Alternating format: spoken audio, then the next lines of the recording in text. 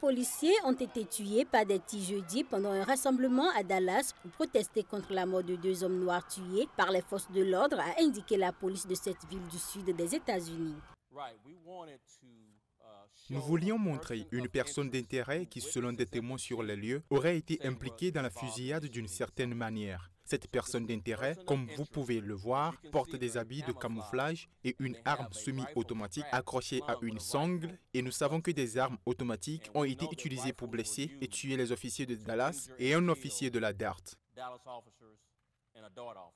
Les tireurs qui ont ouvert le feu subitement vers la fin de la manifestation visaient très clairement les policiers et outre les quatre tués, en ont également blessé six autres, dont deux grièvement ainsi que civils selon les autorités.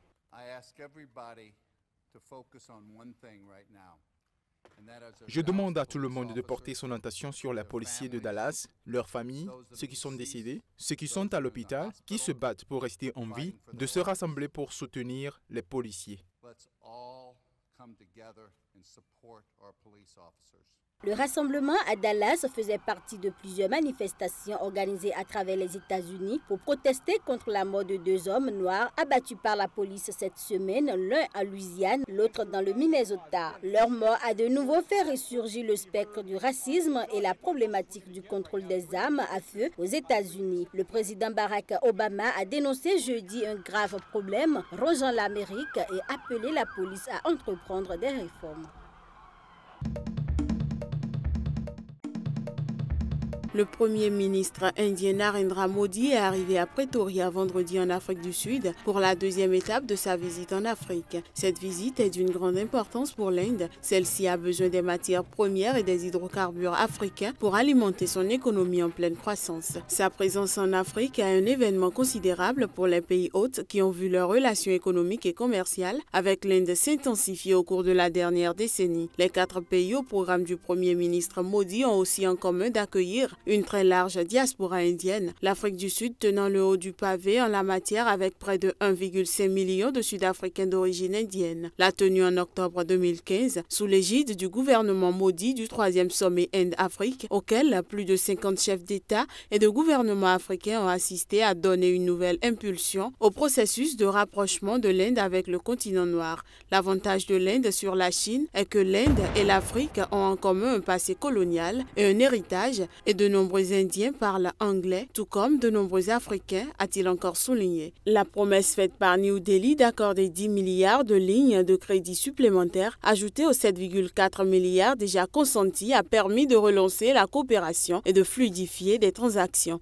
Qui plus est, ce sommet qui s'est déroulé en plein ralentissement de la croissance chinoise a rassuré les dirigeants africains inquiets de la vente de leurs matières premières suite à l'annulation par des Chinois de leurs commandes, faute de liquidité. Comme l'Inde, Pretoria pousse également en faveur d'une réforme du Conseil de sécurité de l'ONU, ce qui en fait un allié naturel de New Delhi qui plaide de longue date pour obtenir un siège permanent. L'Inde et le continent africain émergent un tiers de la population mondiale, mais n'ont aucun siège permanent au Conseil.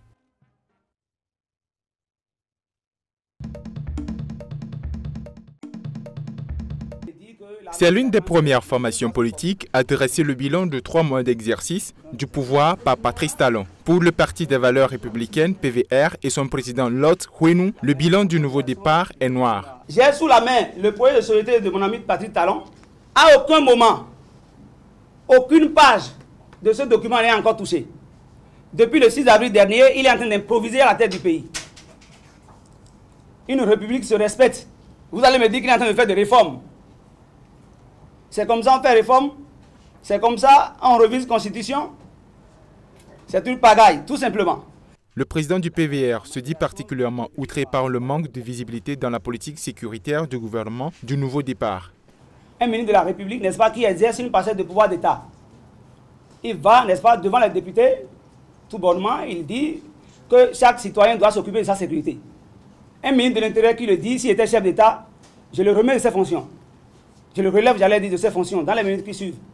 Le fait que Sakar Lafia continue toujours d'être au gouvernement, ça veut dire que c'est le chef d'État qui lui a dit d'aller dire ce qu'il a dit là.